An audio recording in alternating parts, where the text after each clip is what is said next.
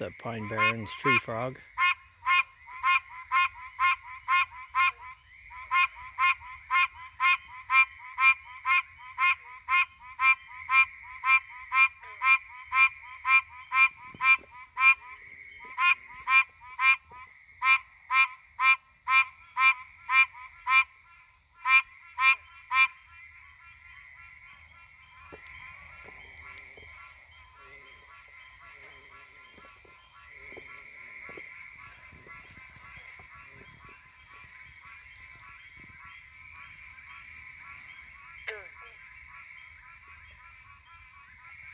Too cool.